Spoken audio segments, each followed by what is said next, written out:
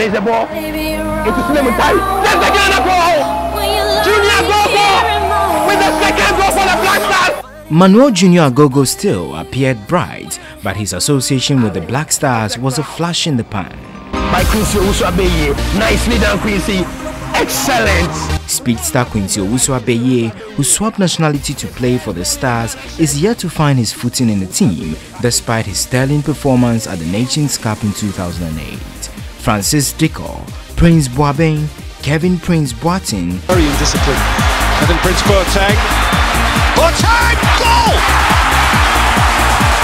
and recently Andoma, goalie Adam Kwarasey, Emmanuel Frimpong have all opted to play for Ghana.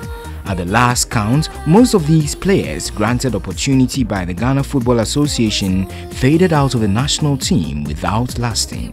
Goalkeeper Richard Kingston in the last decade has been the safe pair of hands for Ghana, notwithstanding some avoidable blunders. After the last two matches of the Black Stars, he appeared to be flashed into a dustbin of history. Now the toast of many soccer fans following spectacular saves he pulled in his first international friendly against Brazil is Adam Larsen Kwarasey. It appears he could be the best replacement for Richard Kingston either before or after the 2014 World Cup. Larsen Kwarasey began his career with local Oslo club Trosterud and was in 2002 scouted by Alsan. He signed for Vålerenga and within a year he had played for Strømsgodset. His exceptional performance for the Stars in the friendly encounter against the Samba Boys of Brazil at Craven Cottage in England has charmed many Ghanaians.